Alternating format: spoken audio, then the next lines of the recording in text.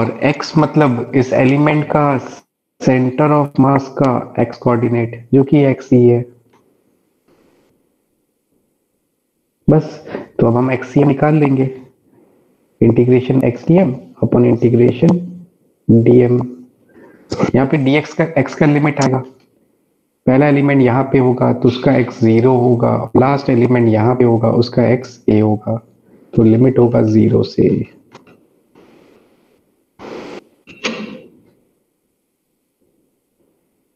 डाल के इंटीग्रेट कर लेना।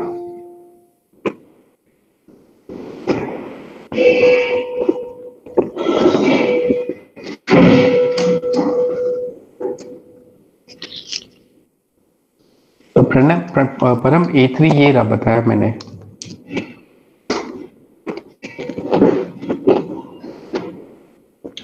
इसको ना तीन अलग अलग डिस्क ये स्क्वायर मान लेना। तीनों का सेंटर ऑफ़ मास लगा है तो वही एक्सीएम और वाईसीएम का फॉर्मूला लगा लेना उससे सेंटर ऑफ़ मास आ जाएगा पूरे का।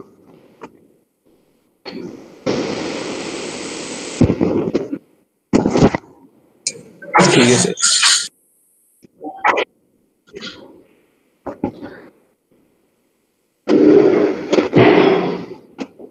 पार्ट वन में किसी को और कोई डाउट है? नहीं सर ठीक है? इस क्वेश्चन में मैंने वर्टिकल स्ट्रिप एलिमेंट लिया। उस एलिमेंट का एक्स कोऑर्डिनेट को एक्स माना और उसके एलिमेंट का जो वाई कोऑर्डिनेट होगा वो इस इक्वेशन चलेगा कि एक्स स्क्वायर तो ऊपर वाला लेंथ आ गया नीचे वाला लेंथ भी आ गया। फिर वही जमा हम करते हैं। सर एट हाँ हाँ। ए एट पार्ट वन का।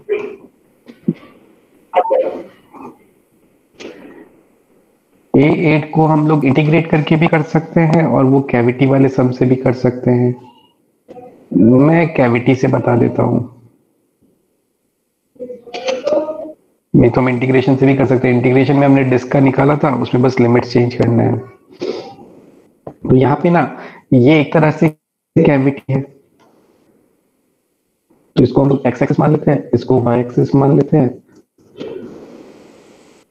इसका रेडियस आर वन है, इसका रेडियस आर टू है। तो हम लोग वाई सी एम का फॉर्मूला लगाएँगे।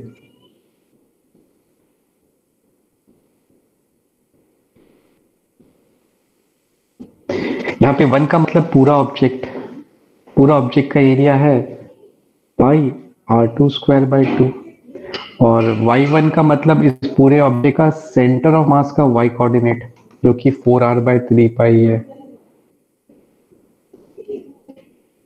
माइनस ए टू मतलब ये वाला एरिया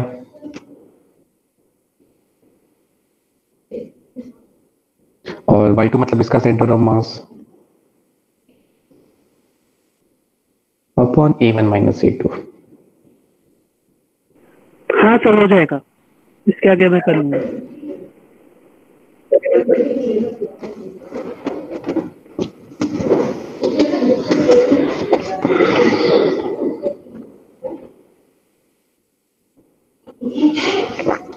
पार्ट टू का ए थ्री असीम को डाउट है।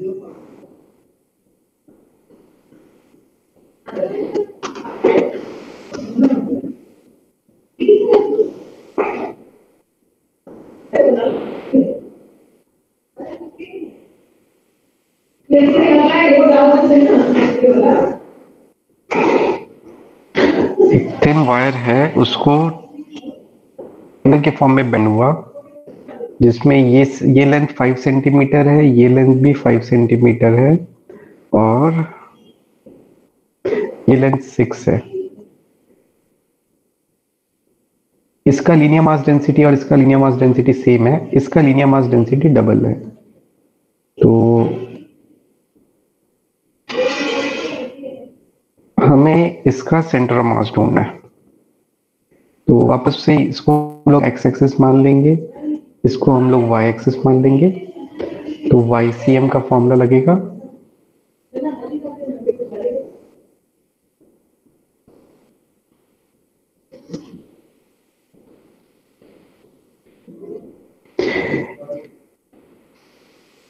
एम वन मतलब इसका मास इसका मास हो जाएगा लैम्डा इंटू फाइव y1 मतलब इसका सेंटर ऑफ़ मास का y कोऑर्डिनेट तो तुम बाद में निकाल लेंगे। ये डिस्टेंस सिक्स होगा तो ये डिस्टेंस थ्री सेंटीमीटर होगा। ये थ्री है, ये फाइव है, यहाँ पे पाइथागोरस लगाओगे तो ये फोर सेंटीमीटर आ जाएगा।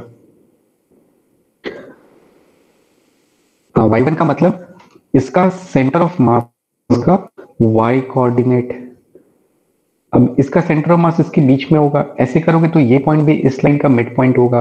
तो ये जो डिस्टेंस आएगा वो टू आएगा। तो इस, इसका सेंटर ऑफ़ मास का वाई कोऑर्डिनेट टू आ जाएगा। M मतलब इसका मास y2 मतलब वही इसका सेंटर ऑफ़ मास का y कोऑर्डिनेट m3 मतलब इसका मास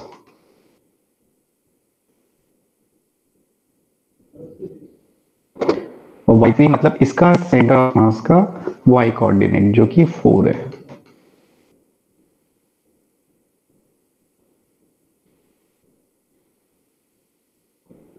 इससे आंसर आ जाएगा।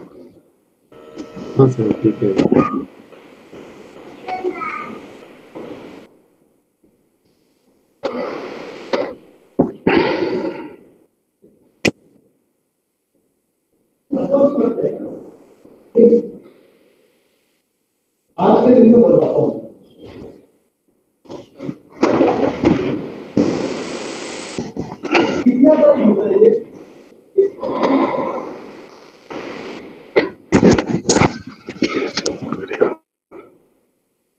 प्रथमेश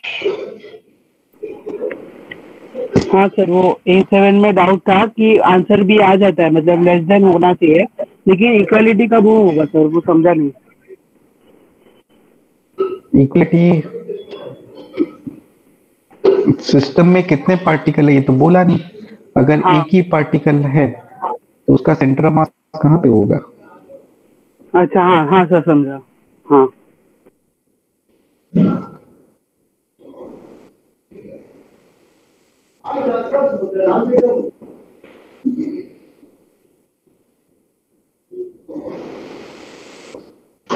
हो गया?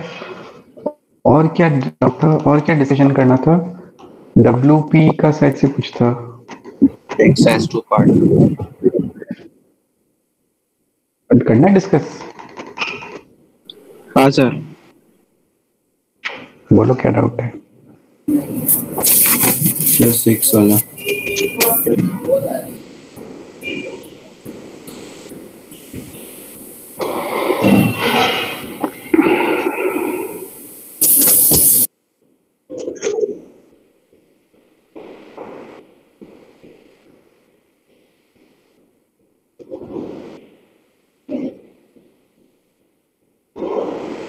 जेपीएन सर क्या पढ़ा रहे हैं अभी? हीट ट्रांसफ़र चल रहा है सर इलेक्ट्रोस्टैट चालू होने वाला है। Electro next lecture okay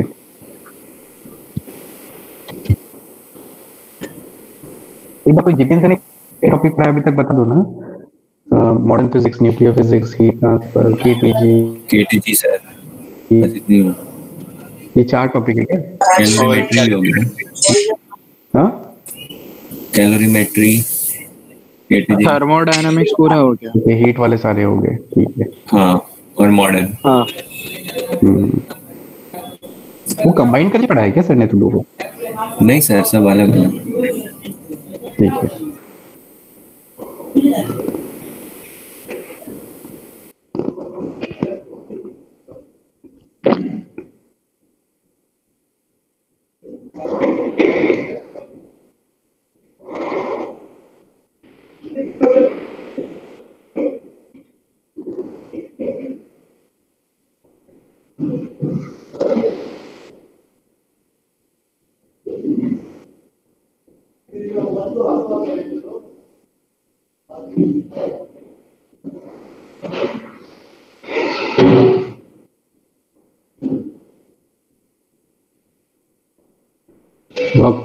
Energy exercise two part two में किसी को डाउट है? सिक्स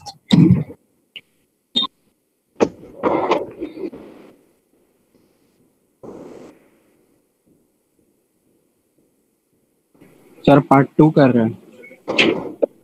हम्म पार्ट टू तो था पार्ट वन तो हो गया ऐसे।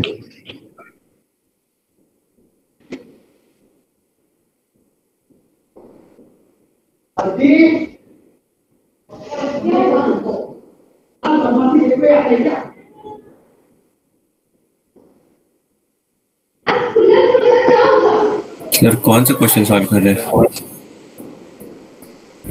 हाँ उसके लिए मैं ये बता रहा हूँ।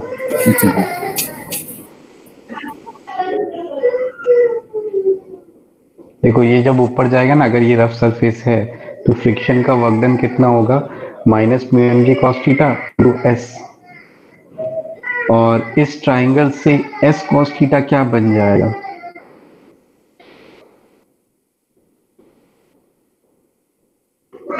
एक्स फ्रिक्शन का वर्कडन जो आ जाएगा ना, वो आ जाएगा minus mu m g into x तो ये याद रखा करो। मतलब जब फ्रिक्शन का वर्कडन ट्राइंगल में लेते हो ना तो माइनस म्यू एम जी ले लेना डिस्प्लेसमेंट ये वाला ले लेना। और एम जी का वर्कडन तो हमें पता ही है डिस्प्लेसमेंट ये वाला ले लेंगे हम ठीक है? तो सिक्स क्वेश्चन में ना, ये हेमिस्फीयर है।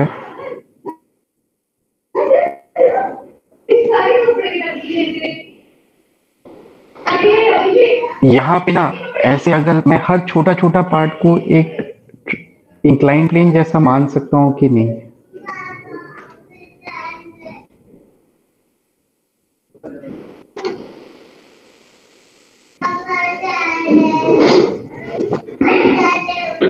हाँ सर।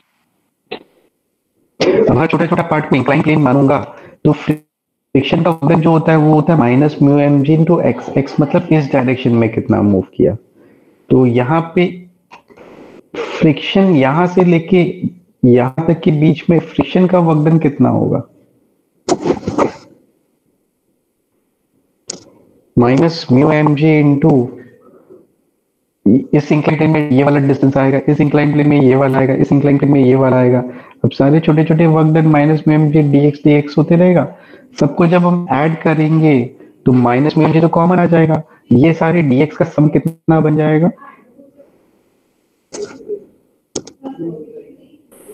आर आर हो जाएगा।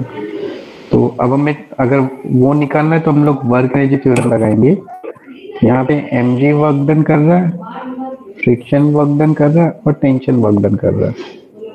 एम जी का वर्क डन होगा minus m g into r friction का वर्क डन होगा minus mu m g into r और टेंशन का वर्क डन हमें निकालना है तो टेंशन का वर्क डन आ जाएगा।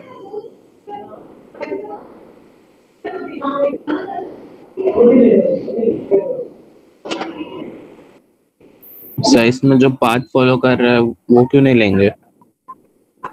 ये. देखना यहाँ पे समझो। देखो जो जो इसने जो पाथ फॉलो किया उसी का मैंने वर्क डन लिखा फ्रिक्शन का। और फिर एस कॉस थीटा एक्स बन गया। तो ये फ्रिक्शन का वर्क डन एक थोड़ा सा शॉर्टकट तरीका आ गया। फ्रिक्शन का वर्क डन हम डायरेक्टली लिख सकते हैं minus mu m g into x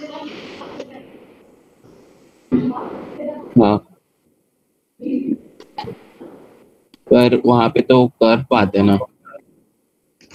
path curve है।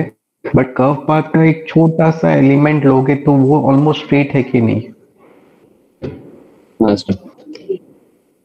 तो फिर उसको तो इंक्लाइन प्लेन मान सकते तो उसका work done minus mu m g into d x होगा। और ऐसे सारे पाथ छोटे छोटे इंक्लाइन प्लेन का वर्क डन लिख के ऐड कर देंगे तो ये टर्म बाहर से याद ठीक है। वहाँ लग इब्राहिम म्यूट कर। इब्राहिम म्यूट कर।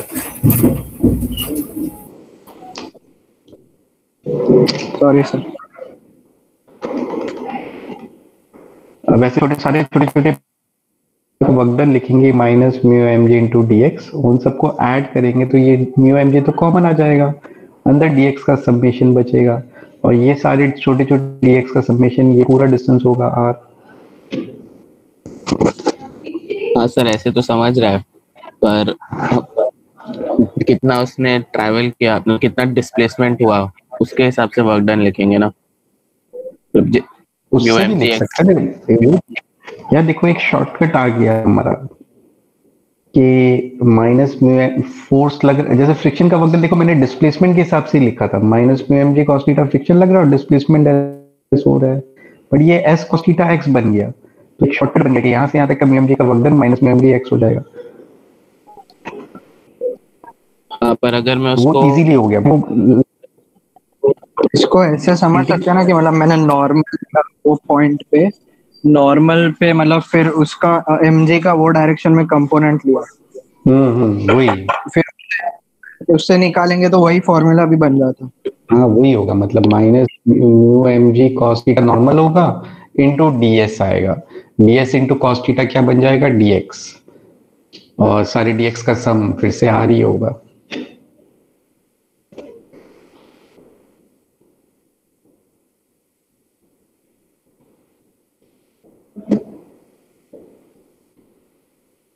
हाँ सर समझा।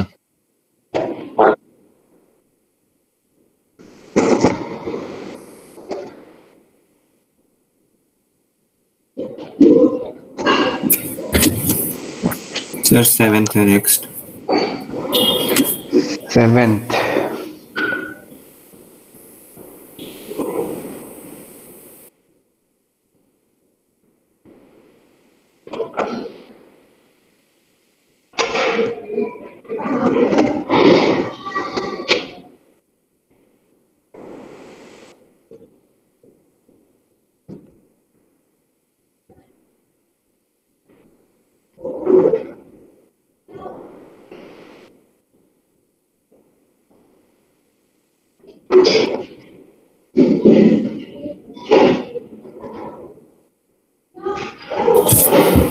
सर इसमें M1 पे वर्क एनर्जी थ्योरम लगा के ही करेंगे ना। क्या बोल रहे हो? M1 मास पे जिस पे फोर्स लग रहा है इस पे वर्क एनर्जी थ्योरम लगा के ही निकालेंगे ना इसको। मैं बता रहा हूँ यहाँ पे M1 को कौन M1 पे M1 को M1 को कौन पुल कर रहा है?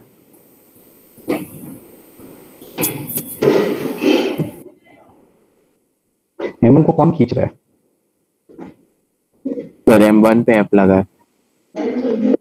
सर M1 पे लगा है फोर्स फोर्स फोर्स M1 पे लगा है sir okay sorry sorry mass अलग अलग है ये M1 है वो M2 है।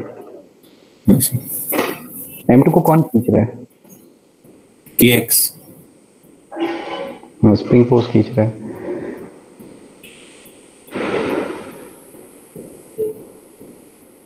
तो M2 वाला मूव कब करेगा? जब KX इसके मैक्सिमम फ्रिक्शन से के इक्वल हो। जाए। तो X को कितना होना पड़ेगा? M2G by K मतलब ये स्प्रिंग का मैक्सिमम एलोंगेशन कितना होना पड़ेगा?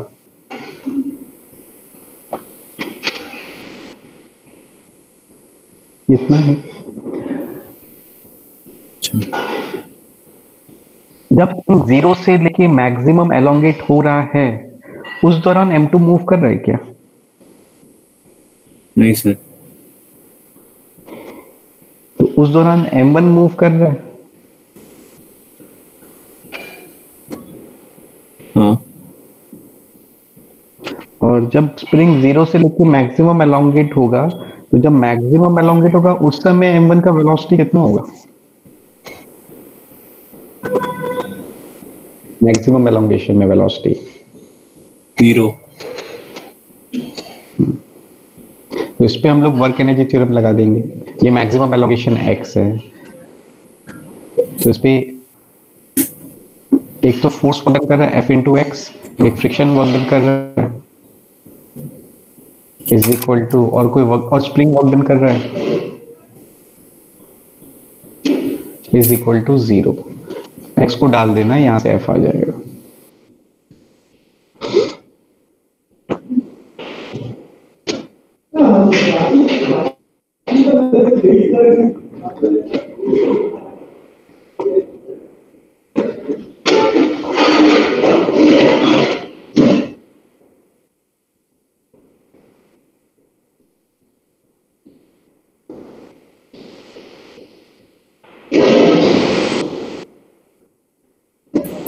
सर तो ये समझ में हाइड नहीं किया ना मतलब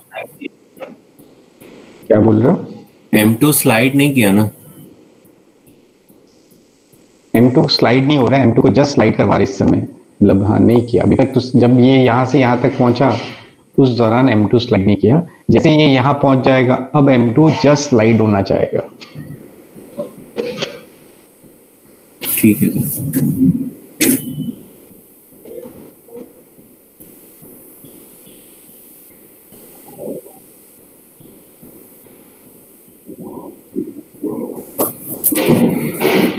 question number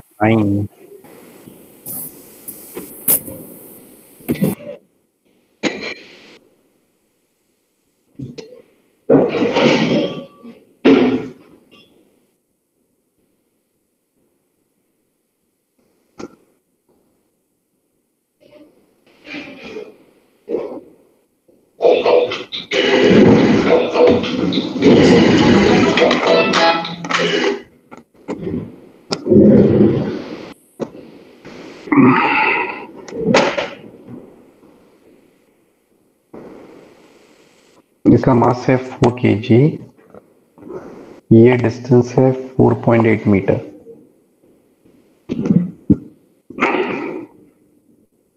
four point six metre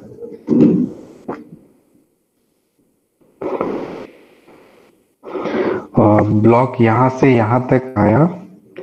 फिर स्प्रिंग को कंप्रेस किया। स्प्रिंग को इसने एक्स्ट्रा कंप्रेस किया 40 सेंटीमीटर। और ये पे रुक गया। और फिर ये रिबाउंड किया। यहाँ से ये वापस रिबाउंड किया। अब रिबाउंड थ्री मीटर हाइट तक किया। Three metre.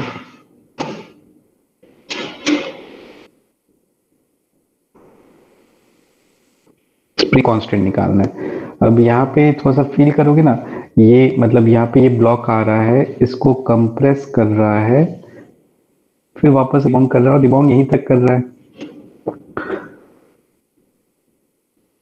तो ये जो सरफेस है ये स्मूथ है कि रफ है? रफ है। रफ है क्योंकि अगर स्मूथ होता ना ये वापस पूरे एग्जैक्टली उसी हाइट तक जाता यहाँ तक जाता बट ये यहाँ तक नहीं जा रहा है। मतलब सरफेस रफ है तभी वो स्लो डाउन हो रहा है। अब स्टार्टिंग में इसका वेलोसिटी ज़ीरो है। जब मैक्सिमम कंप्रेशन हो रहा है, उस समय भी वेलोसिटी ज़ीरो है। और जब ये वापस यहाँ तक पहुँच रहा है, यहाँ पे भी इसका वेलोसिटी ज़ीरो है। तो हम लोग वर्क एनर्जी थ्योरम लगा देंगे। यहाँ से यहाँ तक, पहले हम लोग यहाँ से यहाँ तक लगा रहे हैं। यहाँ से यहाँ तक इसके ऊपर एक तो एम जी वर्क डन कर रहा है। M g sine thirty seven into ये वाला डिस्प्लेसमेंट जो कि फाइव है। एक फ्रिक्शन वर्क डन कर रहा है। Minus mu m g cos thirty seven into ये वाला डिस्प्लेसमेंट फाइव और एक स्प्रिंग वर्क डन कर रहा है।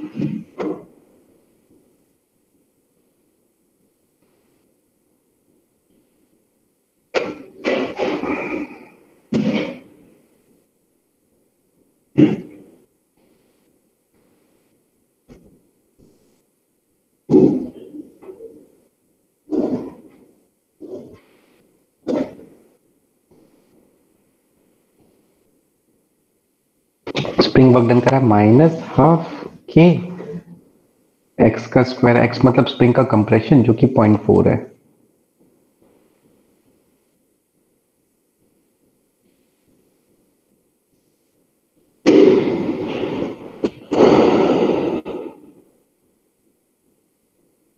Is equal to change in kinetic energy zero है। फिर हम लोग यहाँ से यहाँ तक भी वर्क एनर्जी थ्योरम लगा देंगे। यहाँ से यहाँ तक एम जी वर्क कर रहा है minus m g sine thirty seven into ये वाला डिस्प्लेसमेंट जो कि थ्री है। फ्रिक्शन वर्क डन कर रहा है minus mu m g cos thirty seven into ये वाला डिस्प्लेसमेंट थ्री है। और स्प्रिंग वर्क डन अब पॉजिटिव कर रहा है हाफ़ के एक्स स्क्वायर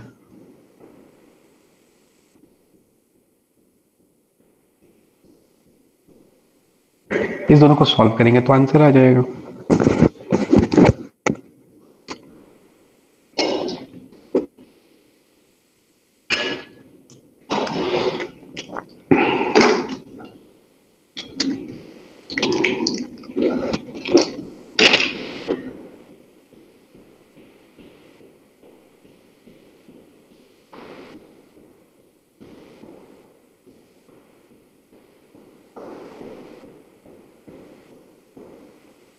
किसी को डाउट है?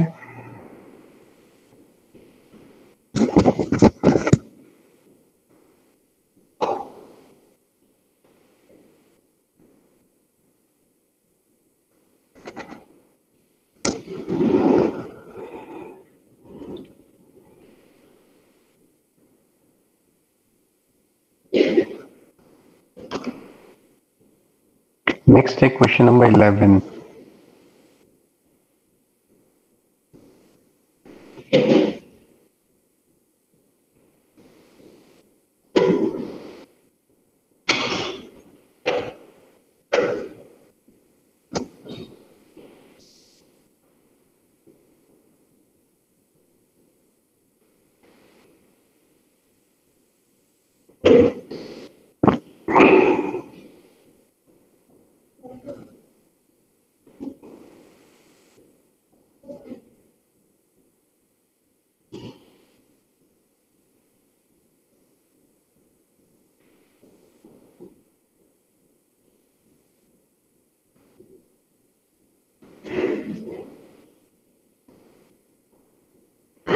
question number eleven में हमें ये ब्लॉक को यहाँ लेके आना है, स्प्रिंग को कंप्रेस करना है, ब्लॉक को वापस लेके आना है।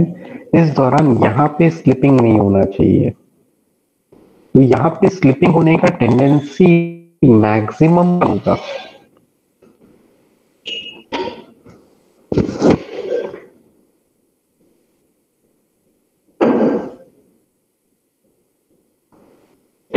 जब स्प्रिंग मैक्सिमम कंप्रेशन पे होगी जब स्प्रिंग मैक्सिमम कंप्रेशन पे होगा तो सबसे पहले तो हम लोग एनर्जी कंजर्वेशन लगा देते हैं। इस पूरे को सिस्टम मान रहे हैं तो फ्रिक्शन तो वर्क डन कर देगा क्योंकि ये स्मूथ है तो एनर्जी कंजर्वेशन लगा सकते हैं। तो यहाँ से जब मैक्सिमम कंप्रेशन होगा तो काइनेटिक एनर्जी का डिक्रीज होगा। काइनेटिक सिस्टम का हाफ़ एम वी स्क्वायर ये डिक्रीज होगा। स्प्रिंग का पोटेंशियल एनर्जी इंक्रीज होगा हाफ़ के एक्स स्क्वायर तो डिक्रीज और इंक्रीज लगा दिया। एनर्जी कंजर्वेशन अब जब स्प्रिंग मैक्सिमम कंप्रेस होगा एक्स तो उस समय स्प्रिंग इस पे फोर्स लगाएगा के एक्स इस समय इसका स्लिपिंग होने का टेंडेंसी सबसे ज़्यादा होगा। तो इस समय जो फ्रिक्शन लग रहा होगा वो कौन सा फ्रिक्शन लग रहा होगा? स्टेट मतलब कौन सा friction static kinetic limiting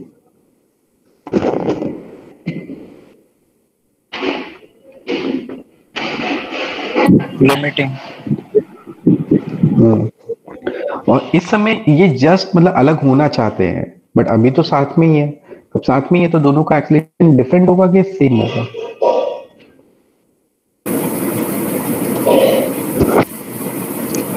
same होगा हम्म। अब इस समय इस पे लिमिटिंग फ्रिक्शन लगेगा तो इसके अंदर भी बनाएँगे इस पे लिमिटिंग फ्रिक्शन आगे की तरफ़ लग जाएगा। म्यू इंटू एन इस पे लिमिटिंग फ्रिक्शन इस तरफ़ लगेगा म्यू इंटू एन तो इसका इस पे न्यूटन्स लॉ का इक्वेशन लिखेंगे तो net force is equal to m into a इस पे न्यूटन्स लॉ का इक्वेशन लिखेंगे तो net force is equal to m into a कुछ गड़बड़ हुआ।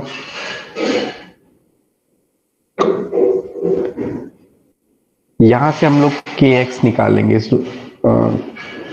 यहाँ से इस ए को यहाँ डाल देते हैं। ए टू है ए को यहाँ डालेंगे तो के एक्स आ जाएगा फाइव के एक्स फाइव आ गया।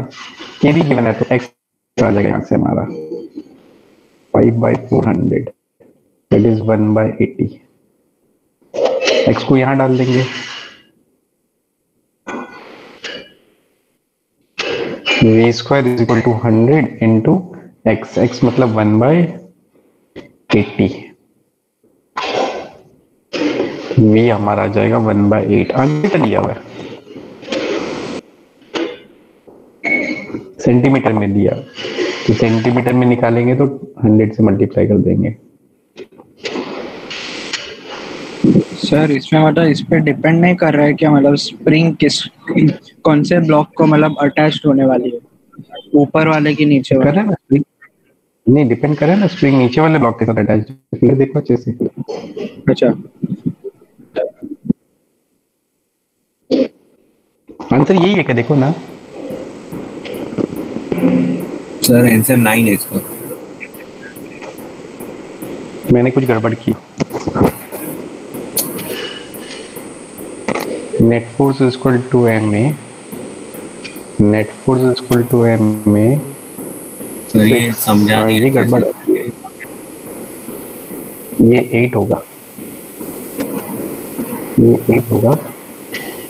ये two by hundred one by fifty होगा। अभी भी गड़बड़ लग रहा था मेरे को हाँ मैं समझा दूँगा एक second one by twenty five p निकालना है ना one by five into hundred answer क्या दिया मैं? एक बार वापस चेक करो। सर इसे नाइन इन ट्वेंटी दिया है ट्वेंटी मैंने दूसरा हाँ वही one by five into hundred equal to twenty centimetre पर सेकेंड हाँ सर यही हाँ किसको नहीं समझ में आया? सर मुझे एक बार फिर से बता सुनो ये यहाँ पे स्लिपिंग होने का टेंडेंसी सबसे मैक्स कब होगा? सर यही पार्ट नहीं समझ रहा है मैक्सिमम कब होगा कैसे मालूम चलेगा? कंप्रेशन के टाइम होना चाहिए सर यहाँ पे ये स्मूथ सरफेस है ये रफ सरफेस है इस दोनों के पास वेलोसिटी है। तो जब तक स्प्रिंग तक पहुँचे नहीं लोग इनसे कोई फोर्स लग रहा है? मतलब यहाँ फिक्सिंग कितना लगेगा, पता है? स्टार्टिंग में जब ये साथ में जा रहे हैं तो यहाँ फिक्सिंग कितना लगेगा?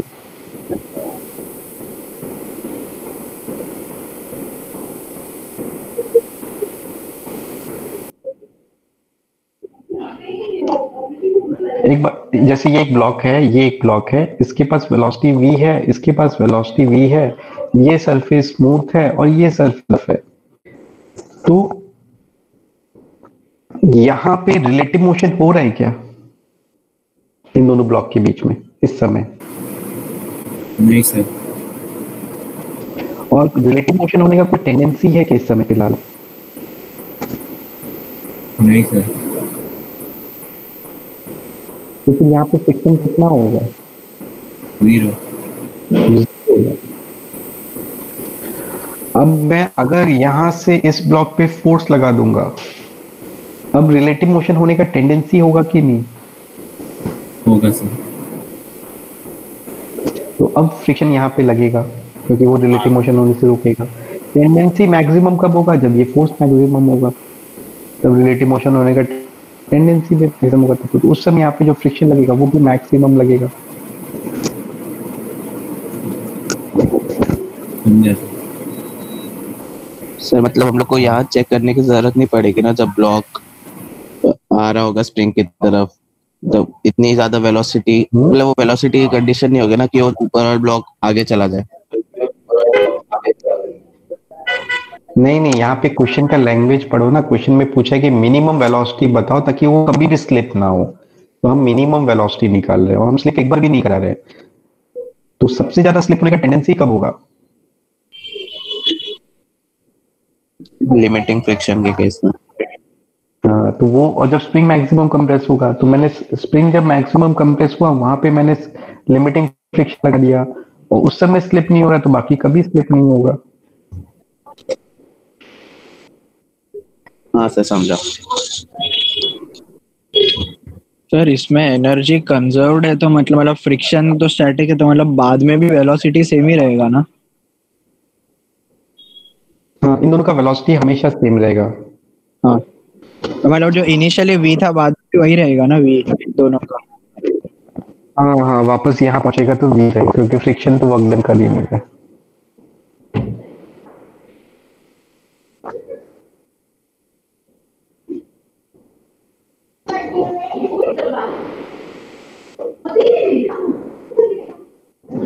और किसी को कोई डाउट है?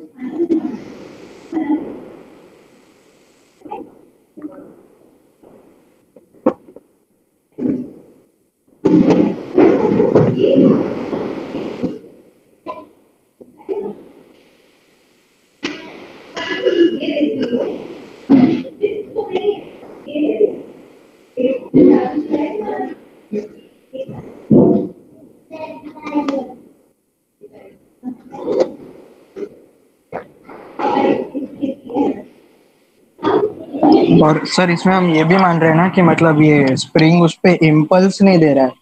यूनिफॉर्मली मतलब स्प्रिंग ये हो रहा शार्प इम्पल्स नहीं दे रहा है। इम्पल्स तो देता ही है बट शार्प इम्पल्स नहीं दे रहा है। जो तुम बोल रहे हो सही है ठीक।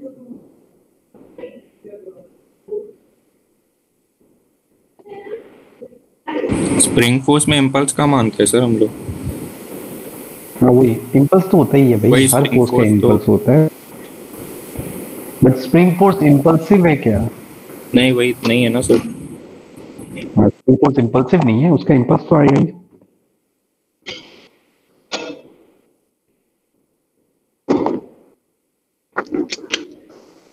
मतलब स्प्रिंग फोर्स का डीटी टाइम के दौरान इम्पल्स कितना होगा? ऑलमोस्ट डीटी टाइम के दौरान स्प्रिंग फोर्स का इम्पल्स ऑलमोस्ट कितना होगा? ज़ीरो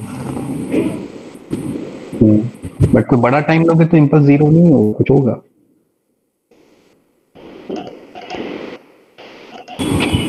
तो वो तो एवरेज फोर्स ही होता है ना सर।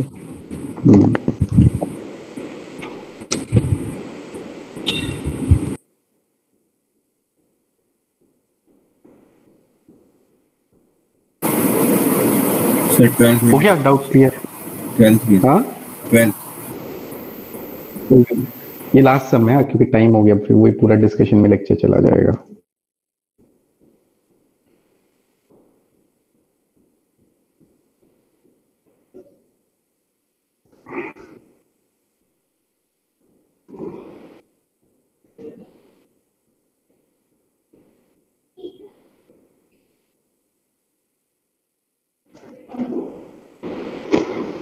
ये डिस्टेंस एल है और स्प्रिंग का नेचुरल लेंथ भी एल है।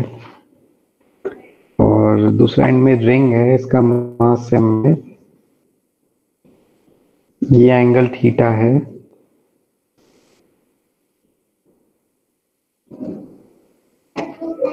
थीटा निकालना है। अब इस ट्राइंगल से ये लेंथ एल है, ये थीटा है तो ये लेंथ आ जाएगा एल बाई कॉस थीटा ये एल बाय कॉस थीटा को एल सेक थीटा लिख सकते हैं। तो ये लेंथ आ जाएगा एल सेक थीटा इस स्प्रिंग का, यहाँ पे जो स्प्रिंग है, उसका नेचुरल लेंथ एल है. अभी का लेंथ कितना है तो वो कितना एलोंगेटेड है? L sec theta minus l मतलब बेसिकली एल कॉमन निकाल देंगे तो l sec theta minus one ये स्प्रिंग का एलोंगेशन है. अब यहाँ पे इसका वेलोसिटी ज़ीरो है.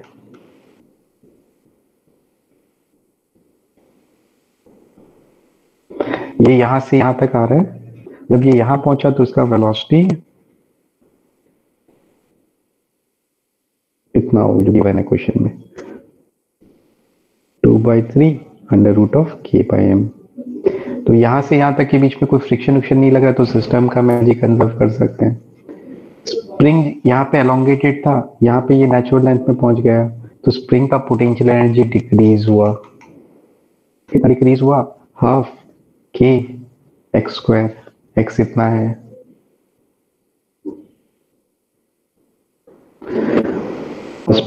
इसका काइनेटिक एनर्जी पहले ज़ीरो था, बाद में इतना हो गया तो इसका काइनेटिक एनर्जी इंक्रीज हुआ। हाफ़ एम वी स्क्वायर यहाँ से थीटा आ जाएगा। ठीक है sir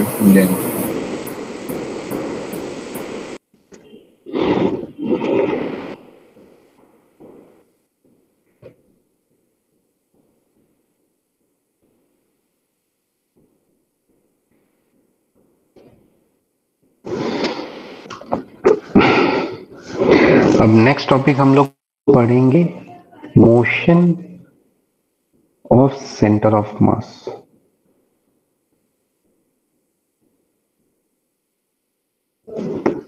motion of centre of mass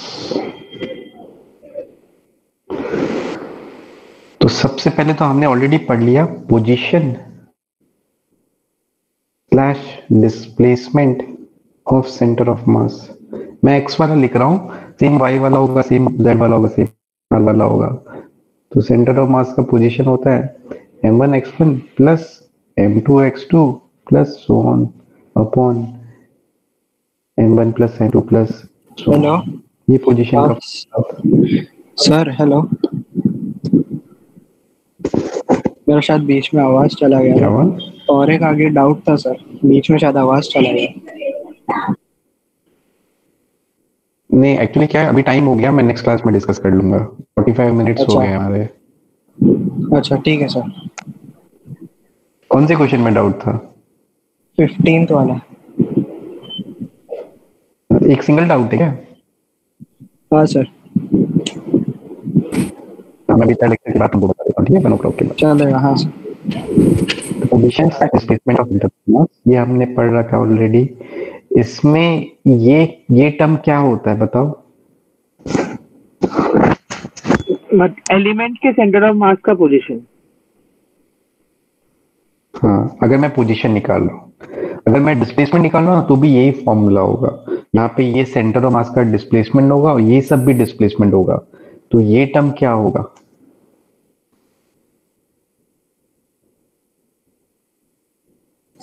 x direction में डिस्प्लेसमेंट। एक्स डायरेक्शन में डिस्प्लेसमेंट किसका? एलिमेंट का। M1 का। M1 का नहीं m1 का सेंटर ऑफ़ मास का। M1 का जो सेंटर ऑफ़ मास है उसका x डायरेक्शन में डिस्प्लेसमेंट होगा। और ये वेक्टर फॉर्मूला है। मैं मेरे को इसको r लिखना चाहिए था ज़्यादा बेटर है। मैं r r चेंज कर देता हूँ। क्योंकि इसमें आर लिखूँगा तो सब आ जाएगा। एक्स y z सब जनरलाइज हो जाएगा ये। तो ध्यान रखना डिस्प्लेसमेंट लिखा डिस्प्लेसमेंट लिख तो ये फॉर्मूला है पोजीशन लिख रहा हूँ तो भी ये फॉर्मूला है। पोजिशन लिख रहा हूँ तो ये m1 के सेंटर ऑफ़ मास का पोजिशन है।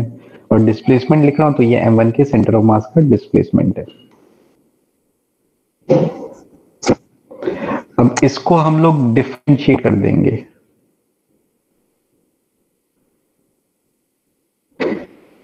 तो आरसीएम का टाइम के रेस्पेक्ट में डिफरेंशिएशन क्या बन जाएगा?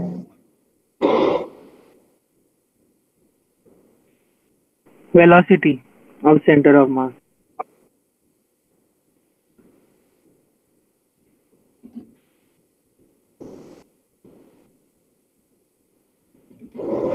तो उसको डिफरेंशिएट कर दिया तो ये इक्वेशन आ गया। इक्वेशन में v1 क्या है?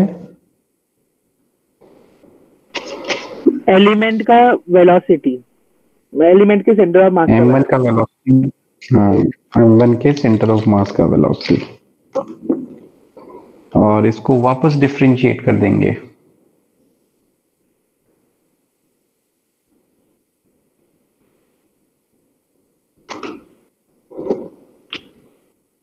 तो हमारा एक्सलेशन आ जाएगा।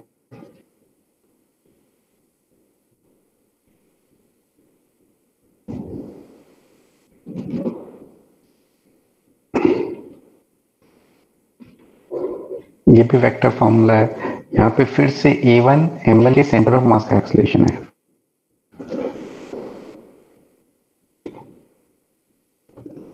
ये कॉपी कर लो।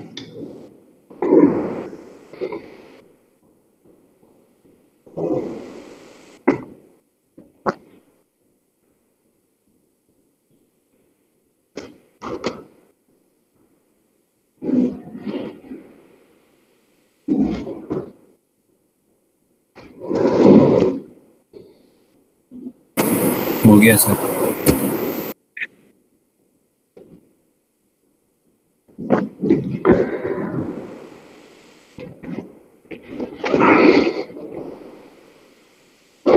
अब यहाँ पे m1 v1 क्या हो जाएगा? Linear momentum of m1 m2 v2 क्या हो जाएगा? Linear momentum of m2 m3 v3 क्या होगा? लीनियर मोमेंटम ऑफ़ m3 अब ये सारे लीनियर मोमेंटम को हम ऐड कर देंगे। M1 का लीनियर मोमेंटम m2 का लीनियर मोमेंटम प्लस m3 का लीनियर मोमेंटम ये सारे लीनियर मोमेंटम को ऐड कर देंगे तो फिर ये ऊपर वाला टर्म क्या बन जाएगा? लीनियर मोमेंटम ऑफ़ सिस्टम नीचे सेम चीज़ m1 का मास m2 का मास m3 का मास सबका मास को ऐड कर देंगे तो नीचे अब क्या बन जाएगा? टोटल मास ऑफ़ सिस्टम और लेफ़्ट में VCM है। और राइट में ये है तो ये दोनों इक्वल है। तो यहाँ से अगर मैं लीनियर मोमेंटम ऑफ़ सिस्टम निकालूँगा तो वो कितना जाएगा? Mass into velocity of centre of mass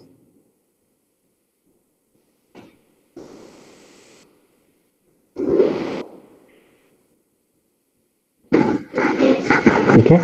ये लीनियर मोमेंटम ऑफ़ वन है, ये लीनियर मोमेंटम ऑफ़ टू है तो ये पूरा चीज़ लीनियर मोमेंटम ऑफ़ सिस्टम हो जाएगा। ये पूरा चीज़ मास ऑफ़ सिस्टम हो जाएगा। तो इसको ऐसे भी लिख सकते हैं। अब इस दोनों से अगर मैं पी सिस्टम निकालूँगा तो m into v c m आ जाएगा।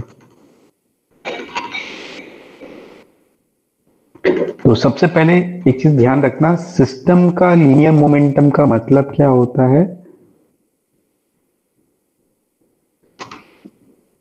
सिस्टम के अंदर जितने भी पार्टिकल्स है, वो सारे का लीनियर मोमेंटम का सम ये समझ के याद रखना सिस्टम का लीनियर मोमेंटम कितना होता है? सिस्टम के अंदर जो भी पार्टिकल है उन सबका लीनियर मोमेंटम का सम और वो इतना होता है।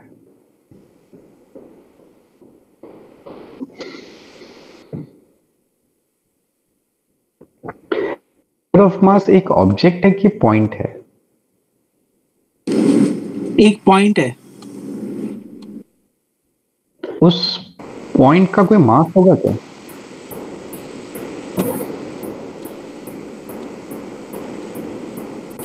सर किसका आवाज़ नहीं आया नहीं होगा ना। तो पूरे मास का नहीं होगा सर डिपेंड डिपेंड करता है हो भी सकता है नहीं भी हो सकता। नहीं मतलब एक पॉइंट मतलब कोई ऑब्जेक्ट हुई ना एक पॉइंट है। पॉइंट का ना कोई मास होता है। पॉइंट मास नहीं है पॉइंट है। लेकिन पॉइंट मूव करता है कि नहीं? हाँ। हाँ। वो सर तो सेंटर ऑफ़ मास का डिस्प्लेसमेंट वेलोसिटी एक्शन ये सब होगा कि नहीं? हाँ होगा। बट सेंटर ऑफ़ मास का कोई मास होगा? नहीं मास नहीं होगा। मोमेंटम होता है एम इंटू वी तो सेंटर ऑफ़ मास के पास कोई मोमेंटम होगा? हाँ होगा। सेंटर ऑफ़ नहीं मास मास नहीं है तो सेंटर ऑफ़ मास का मोमेंटम भी नहीं होगा। सेंटर ऑफ़ मास बस एक पॉइंट है कोई ऑब्जेक्ट हो ना एक पॉइंट है। तो मूव करता है तो उसके पास वेलोसिटी एक्सेलरेशन डिस्प्लेसमेंट ये सब होता है बाकी सब तो नहीं होता जो ऑब्जेक्ट पे लगता है। तो एक चीज़ ध्यान रखना m into v c m करने से किसका मोमेंटम आता है? सिस्टम सिस्टम पूरे सिस्टम का। सेंटर ऑफ़ मास का आता है? नहीं। आता है। सिस्टम का नहीं सर मैंने पूरा डिराइव किया ये देखो, मेरा, मैंने पूरा डिराइव किया, मेरा सिस्टम का मोमेंटम आया। तो सेंटर ऑफ़ मास का मोमेंटम जैसा कोई चीज़ नहीं होता सेंटर ऑफ़ मास एक पॉइंट है। हाँ सिस्टम का मोमेंटम होगा, और सिस्टम का मोमेंटम का मतलब क्या होता है? सिस्टम के अंदर जो भी प्रेजेंट है, उन सब का मोमेंटम का सम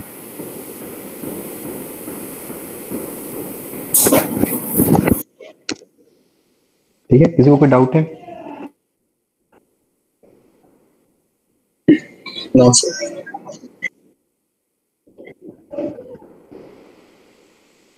और ध्यान रखना सिस्टम का लीनियर मोमेंटम लिखना है तो mass of system into velocity लिखेंगे। ये वेलोसिटी किसका लिखेंगे? ध्यान रखना। तुम लोग नहीं लिखते हो। तुम लोग हमेशा गड़बड़ करे उसमें सिस्टम का लीनियर मोमेंटम लिखना है तो मास इनटू वेलोसिटी लिखेंगे। वेलोसिटी किसका लेंगे हम? सेंटर ऑफ़ मास का। हम्म, तो ध्यान रखना इसको। फिर नेक्स्ट नेक्स्ट मान लो एक सिस्टम है, उसके अंदर तीन पार्टिकल्स है। वन टू थ्री अब ऐसा हो सकता है कि ये पूरा सिस्टम है। ऐसा हो सकता है कि वन वाले पार्टिकल में थ्री वाले पार्टिकल ने वन वाले पार्टिकल को अपने तरफ़ अट्रैक्ट किया। तो ये force on one due to three अगर थ्री वाले ने वन वाले को अट्रैक्ट किया होगा तो according to Newton third law one वाला भी थ्री वाले को अट्रैक्ट करेगा। Force on three due one ये दोनों फोर्स का मैग्नीट्यूड क्या होगा? न्यूटन थर्ड लॉ इक्वल होगा ना? इक्वल होगा। See, वैसे यहाँ ये दोनों आपस में एक दूसरे को अट्रैक्ट कर रहे हैं।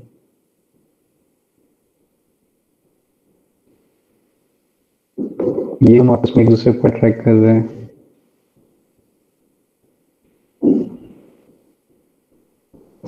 और ऐसा भी हो सकता है कि वन में एक्सटर्नल फोर्स लग रहा है। टू में एक्सटर्नल फोर्स लग रहा है मेरे को एक्सटर्नल फोर्स लग रहा है। तो हमने मुद्दा पढ़ा था ना एम वन ए वन का मतलब क्या हो जाएगा?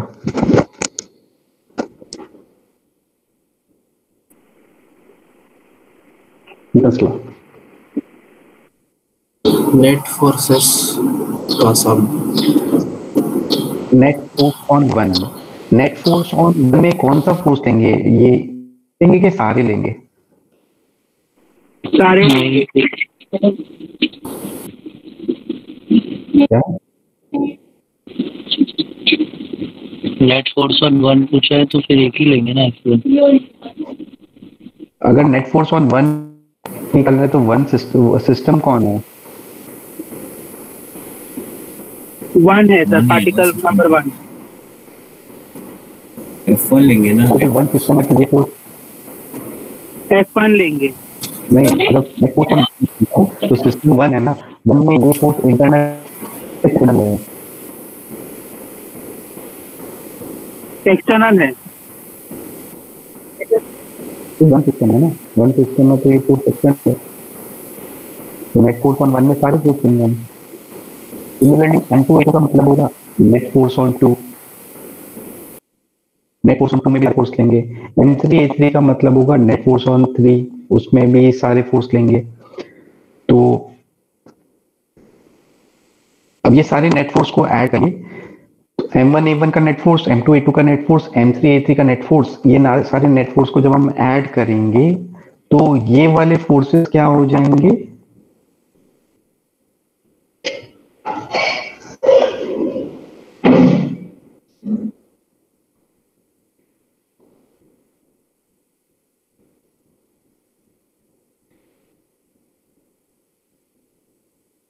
अब ये सारे फोर्स को ऐड करेंगे तो ये पूरा सिस्टम का हो गया।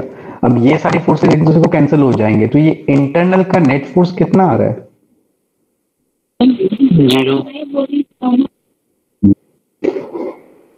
और नीचे आएगा मास ऑफ़ सिस्टम और लेफ़्ट साइड में कौन है? Acceleration of centre of mass तो यहाँ पे net external force on system किसके इक्वल आ गया? Mass of system into acceleration of centre of mass ये बेसिकली न्यूटन्स लॉ हमने पढ़ रखा है बट फिर से इसको प्रॉपर मैंने डिराइव किया है। कि नेट एक्सटर्नल फोर्स किसके इक्वल होता है mass of system into acceleration of centre of sir बोलो। सर आपके जो डायग्राम में f one f two f three क्या है सर वो रिजल्टेंट फोर्सेस है क्या? क्या बोल रहे हो? F one f two f three क्या है सर मतलब कोई कोई फोर्स लगा रहा है? वन पे कोई दूसरा फोर्स लग रहा है एक्सटर्नली ये सब जो पिंक वाले ये आपस में एक दूसरे पे लगा रहे हैं? और ग्रीन वाले एक्सटर्नली लग रहा है? अच्छा कोई और फोर्स है ना? हम्म। हाँ ठीक है सर।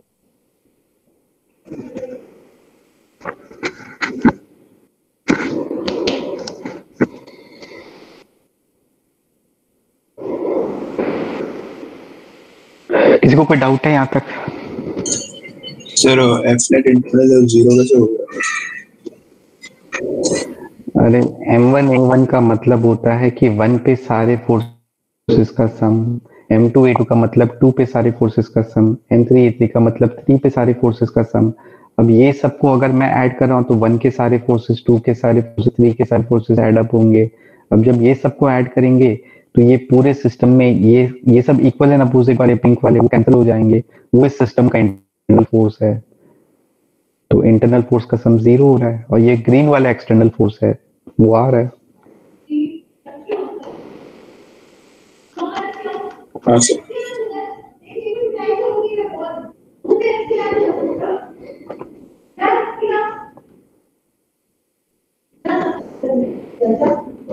अब यहाँ पे ए सी एम हम लोग लिख सकते हैं मैं यहाँ लिख देता हूँ। A c m system into a c m को लिख सकते हैं d v c m by d t m system constant है तो उसको अंदर भी डाल सकते हैं तो ये हो जाएगा d by d t of m system into v c m और ये m system into v c m क्या बन जाएगा?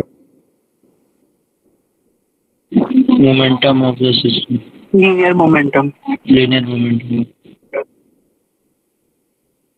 of linear momentum of of the system system ये हमारा एक और इक्वेशन आ गया कि नेट एक्सटर्नल फोर्स किसके इक्वल होता है? डीपी बाई डी जिसमें p linear momentum of system है।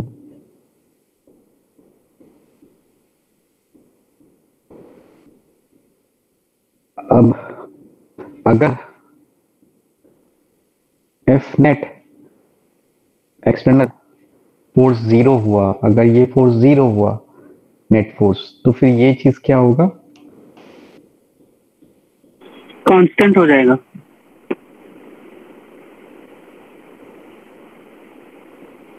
मतलब कंजर्व हो जाएगा। कंजर्व हाँ। तो सिस्टम में नेट फोर्स ज़ीरो होता है तो उसका सिस्टम का लीनियर मोमेंटम क्या होता है? कंजर्व होता है। कंजर्व होता है इसका मतलब सिस्टम का इनिशियल जो लीनियर मोमेंटम होगा मतलब कंजर्वो का मतलब हमेशा सेम रहेगा। हमेशा सेम रहेगा तो इनिशियल और फाइनल भी हमेशा सेम रहेगा। तो इनिशियल लीनियर मोमेंटम और फाइनल लीनियर मोमेंटम वो इक्वल होंगे।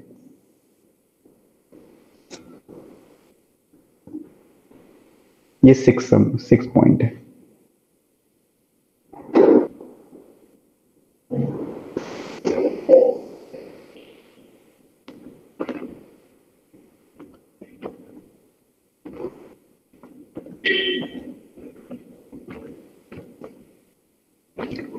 ये भी याद रखना कि सिस्टम का लीनियर मोमेंटम कब कंजर्व होता है? जब सिस्टम में नेट फोर्स ज़ीरो होता है।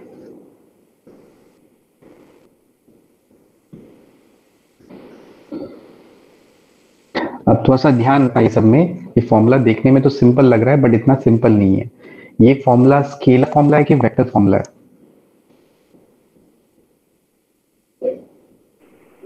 वेक्टर वेक्टर फॉर्मूला है तो जैसे तीन चार ऑब्जेक्ट एक ऑब्जेक्ट ऐसे है इसके पास वेलोसिटी इस डायरेक्शन में है कुछ। दूसरा ऑब्जेक्ट ऐसे है उसका वेलोसिटी इस डायरेक्शन में है। तो जब मैं ये फॉर्मूला लगाऊँगा तो डायरेक्टली v1 लिख दूँगा v2 लिख दूँगा क्या वैल्यू नहीं सर कंपोनेंट लेना पड़ेगा। हाँ तो ये वेक्टर फॉर्मूला है तो हम लोग ऐसे कोई भी वैल्यू डायरेक्टली नहीं डालेंगे। हम ये फॉर्मूला x में अलग से लगाएँगे, y में अलग से लगाएँगे और z में अलग से लगाएँगे। जब मैं x डायरेक्शन में लगाऊँगा तो मेरे को सारा वेलोसिटी किस डायरेक्शन का लेना पड़ेगा? ऑब्वियसली x डायरेक्शन का लेना पड़ेगा। और सेंटर ऑफ़ मास का वेलोसिटी किस डायरेक्शन का आएगा? ऑब्वियसली x डायरेक्शन का आएगा। सारा वेलोसिटी जब मैं x डायरेक्शन में लूँगा ना, उसमें भी मुझे ध्यान रखना पड़ेगा कि अगर एक के पास वेलोसिटी राइट में है और दूसरे के पास वेलोसिटी लेफ़्ट में है तो राइट right वाले का वैल्यू अगर मैं पॉजिटिव डाल रहा हूँ तो मुझे लेफ़्ट वाले का वैल्यू कैसे डालना पड़ेगा? नेगेटिव हाँ और मेरा मेरा मन करे मैं लेफ़्ट वाले को पॉजिटिव डाल रहा हूँ तो मुझे राइट वाले को क्या डालना पड़ेगा? नेगेटिव लेफ़्ट वाले को हाँ साइन कन्वेंशन अपने हिसाब से कुछ भी ले सकते हैं। मैं लेफ़्ट वाले को प्लस लूँगा तो राइट वाले को माइनस लेगा राइट वाले को प्लस लूँगा तो लेफ़्ट वाले को माइनस पड़ेगा। थोड़ा सा अच्छे से ध्यान रखना ये वेक्टर फॉर्मूला है। ये हम मतलब हम general motion x y z तीनों में होता है तो हम जनरल एज अ होल एक साथ नहीं लगाते हम एक्स में अलग से लगाते हैं वाई में अलग से लगाते हैं जेड में अलग से लगाते हैं। जब हम एक्स में लगा रहे हैं तो हम सिर्फ़ एक्स डायरेक्शन का वेलोसिटी लेंगे और सेंटर ऑफ़ मास का भी एक्स डायरेक्शन का वेलोसिटी आ जाएगा। बट जब हम एक्स डायरेक्शन का वेलोसिटी ले रहे हैं, उसमें भी साइन कन्वेंशन है। एक्स डायरेक्शन में अगर मैं राइट वाले को प्लस ले रहा हूँ तो लेफ़्ट वाले को माइनस लेना पड़ेगा। लेफ़्ट वाले को प्लस ले रहा हूँ तो राइट वाले को माइनस लेना पड़ेगा। सिमिलरली ये वाला भी, ये वाला भी वेक्टर फॉर्मूला है तो हम एक्स वाई जेड में अलग अलग लगाएँगे। एक्स में भी अगर राइट को प्लस ले रहे हो तो वाई वाई लेफ़्ट को माइनस लेना पड़ेगा। ये सब चीज़ समझ के करना इतना भी आसान फॉर्मूला नहीं है। ये भी वैसे ही है। सब वेक्टर फॉर्मूला है तो विथ साइन लेना पड़ेगा और एक डायरेक्शन के लिए करना पड़ेगा। ठीक है? और याद रखना सिस्टम का मोमेंटम कभी भी किसी का मोमेंटम लिखोगे तो मास इनटू वेलोसिटी किसका लोगे हमेशा? किसी का भी मोमेंटम ले रहे हो तो उसका मास इनटू वेलोसिटी लिखोगे। वेलोसिटी किसका लोगे? सेंटर ऑफ़ मास का सिस्टम की। हम्म, हाँ और सिस्टम का लीनियर मोमेंटम कब कंजर्व होगा? जब उसमें नेट फोर्स कंजर्व हो। रहा है इसका मतलब क्या है? हमेशा कांस्टेंट रहेगा। कांस्टेंट रहेगा मतलब इनिशियल और फाइनल चेंज नहीं होगा मतलब हमेशा सेम रहेगा। मतलब सिर्फ़ इनिशियल और फाइनल सेम हो गया हमेशा सेम होगा? हमेशा सेम होगा किसी भी इंस्टेंस पे। जनरली हम इनिशियल और फाइनल को सेम करेंगे बट हमेशा सेम होगा याद रखना। चेंज ही नहीं होगा। किसी को कोई भी डाउट नहीं सर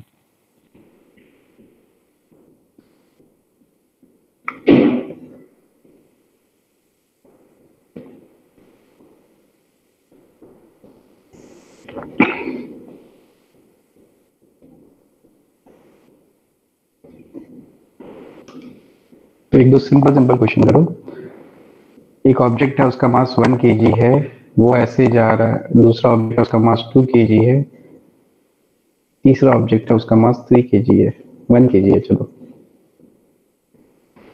ये ऑब्जेक्ट राइट में जा रहा है, इसका वेलोसिटी है टू मीटर पर सेकंड ये ऑब्जेक्ट ऊपर जा रहा है, इसका वेलोसिटी है टू मीटर पर सेकंड ये ऑब्जेक्ट बाहर की तरफ़ आ रहा है, इसका वेलोसिटी है टू मीटर पर सेकंड तो ये एक्स डायरेक्शन है, ये वाई है।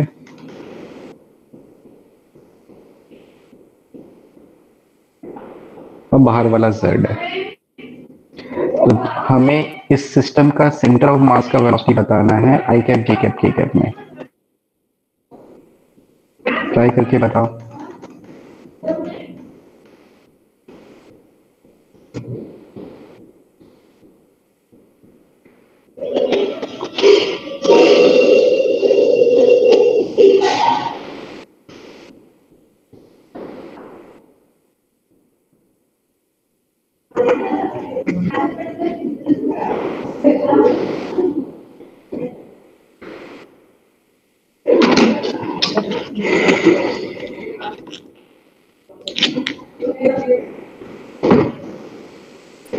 half i cap plus one plus half k cap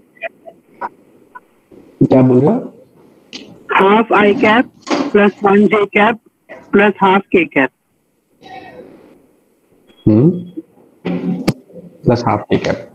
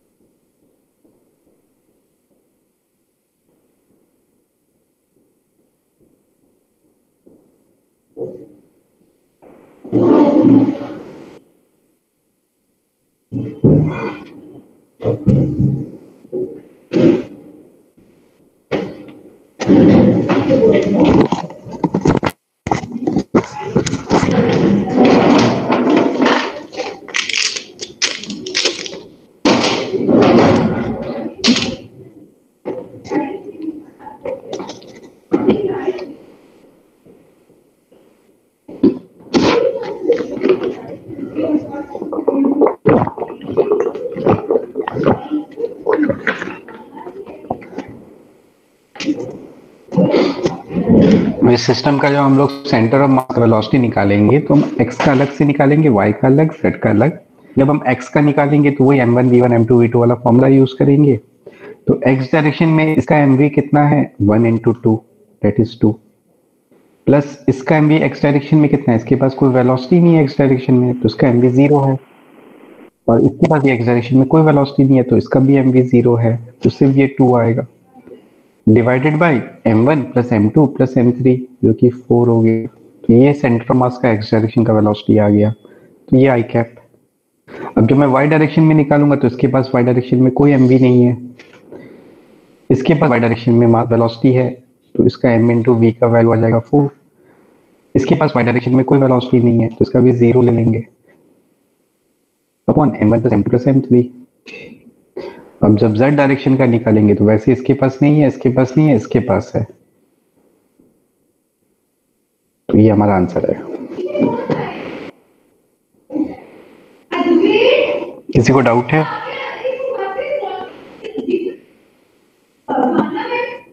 नहीं सर नो सर नहीं सर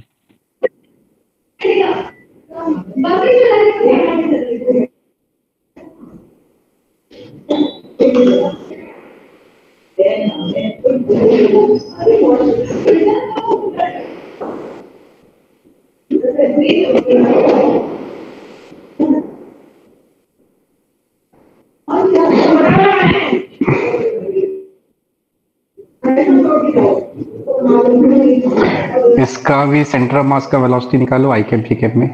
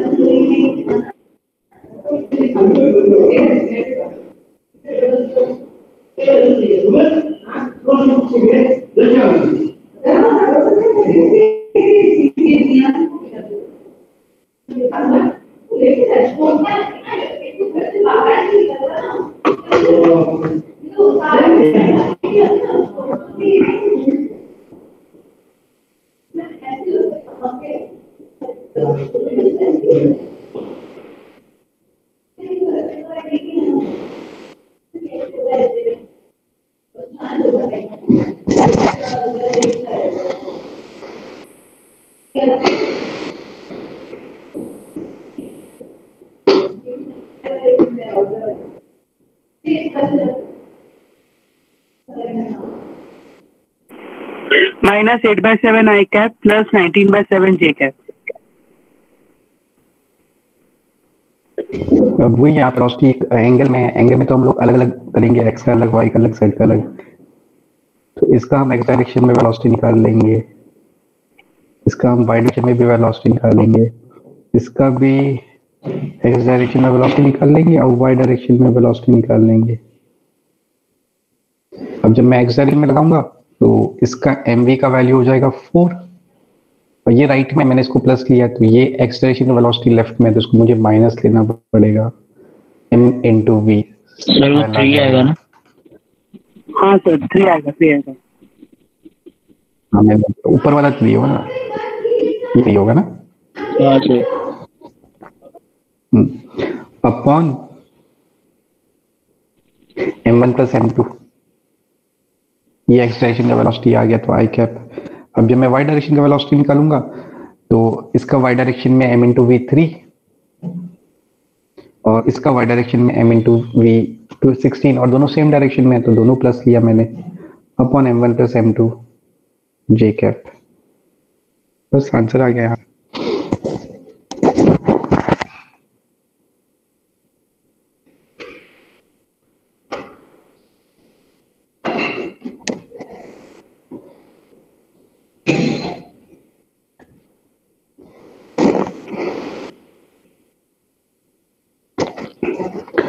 किसी को कोई डाउट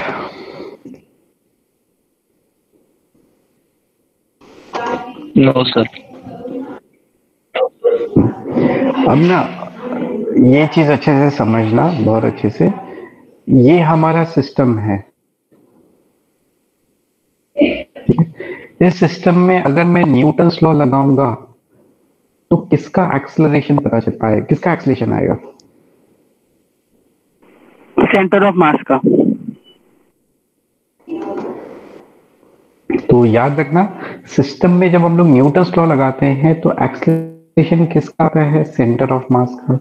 अब सेंटर ऑफ़ मास का एक्सलेशन को इंटीग्रेट करेंगे तो वेलोसिटी किसका आएगा? सेंटर ऑफ़ मास का। और सेंटर ऑफ़ मास का वेलोसिटी को इंटीग्रेट कर देंगे तो डिस्प्लेसमेंट या फिर पोजीशन किसका आएगा? सेंटर ऑफ़ मास का। हम्म, तो नेट फोर्स से ना हमें किसके मोशन के बारे में पता चल? रहा है मोशन मतलब एक्सलेशन वेलोसिटी डिस्प्लेसमेंट पूरा पाथ नेट फोर्स से किसका मोशन के बारे में पता चल रहा है?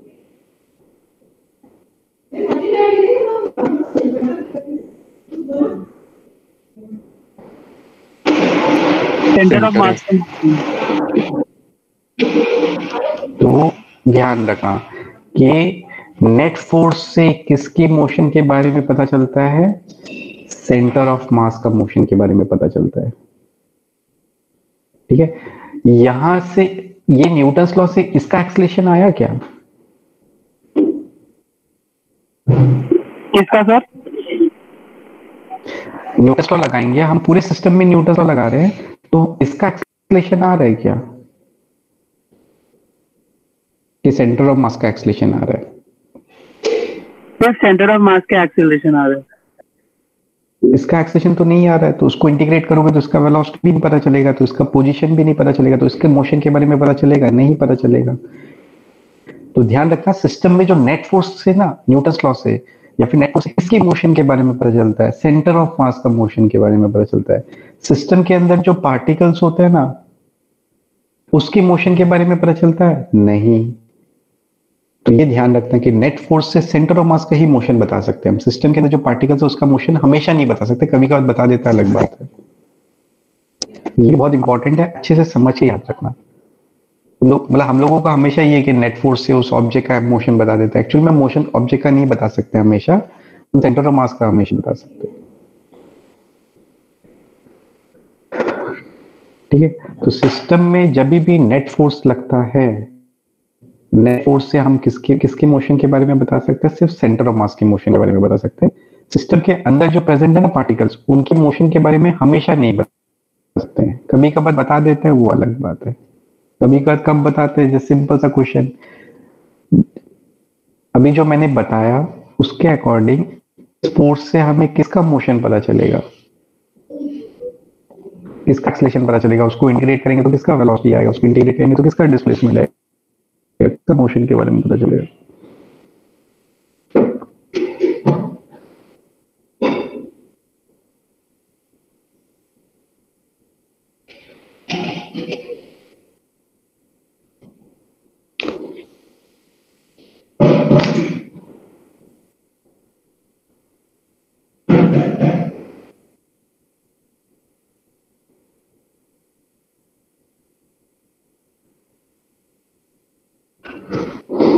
आंसर करो।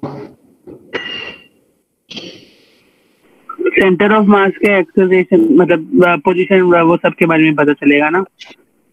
अगर न्यूटन लॉ लगाएँगे तो। हाँ, इस फोर्स से सेंटर ऑफ़ हाँ, इस इस फोर्स से ना इस ऑब्जेक्ट का एक्सेलेशन नहीं आता है। न्यूटन लॉ लगाने से सेंटर ऑफ़ मास का एक्सेलेशन आता है। फिर सेंटर ऑफ़ मास का वेलोसिटी आता है सेंटर ऑफ़ मास का सब कुछ आ जाता है। लेकिन ना ये ऑब्जेक्ट तो स्पेशल है। इस ऑब्जेक्ट में ना हर पॉइंट का जो एक्सेलरेशन होगा और सेंटर ऑफ़ मास का जो एक्सलेशन होगा वो डिफरेंट होगा कि सेम होगा?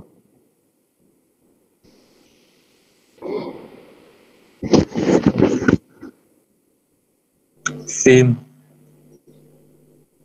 तो तो फिर एक्सलेशन को इंटीग्रेट करोगे तो हर पॉइंट का वेलोसिटी और सेंटर मास का वेलोसिटी भी सेम होगा डिस्प्लेसमेंट भी सेम होगा। तो जो सेंटर ऑफ़ मास का मोशन होगा वही बाकी सबका मोशन होगा तो सेंटर ऑफ़ मास का मोशन पता चला कि सारे पॉइंट का मोशन पता चल गया? सारे पॉइंट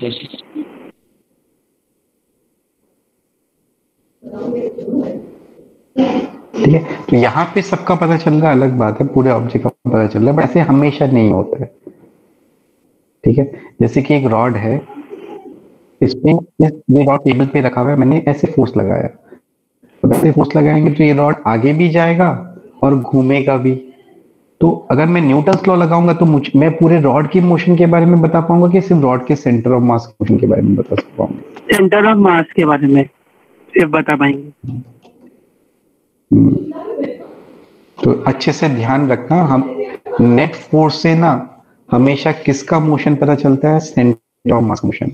System की जो पार्टिकल्स है उसका मोशन हमेशा नहीं पता चलता है। कभी कभी पता चल जाता है अलग बात है but net force centre of mass का मोशन बताता है। किसी को कोई डाउट है?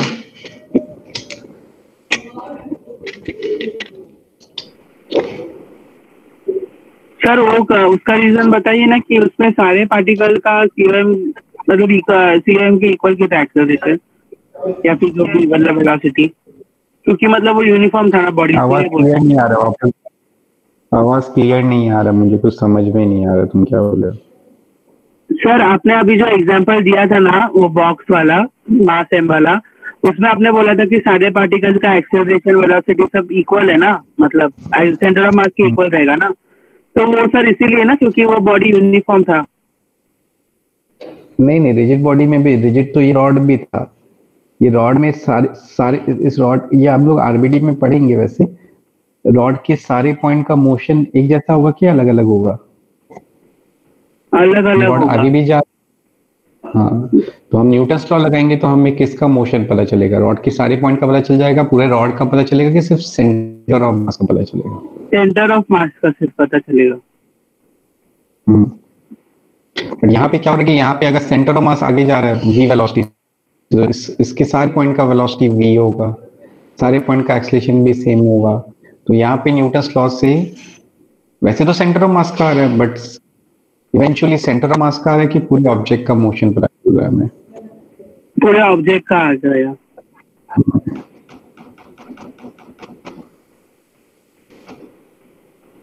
और किसी को कोई डाउट है?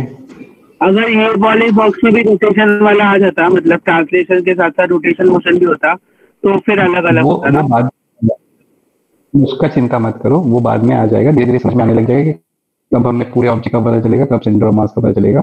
अभी के लिए सिर्फ़ ये याद रखो कि नेट फोर्स से सिर्फ़ सेंटर ऑफ़ मास का मोशन हमेशा पता चलता है न्यूटन लॉ से। पूरे ऑब्जेक्ट का हमेशा नहीं होता है कभी होता है कभी नहीं होता है। हाँ अब तक जो हमने पढ़ा था ना, अब तक हमने एनएलएम पढ़ा फ्रिक्शन पढ़ा उसमें हम लोग न्यूटन लॉ लगा के किसका मोशन पता करते थे? सेंटर ऑफ़ मास पता करते थे कि पूरे ऑब्जेक्ट पता करते थे? सेंटर ऑफ़ मास का। कहाँ सेंटर मास पे टर्म आए नहीं है एनएलएम फ्रिक्शन कहीं पे उसमें पूरे ऑब्जेक्ट का आ जाता। है, क्योंकि अब तक हमारा ऑब्जेक्ट का जो मतलब ऑब्जेक्ट हर पॉइंट का मोशन सेम होता था। सेम पाथ फॉलो करता था तो कोई नहीं था। अब चेंज हो जाएगा।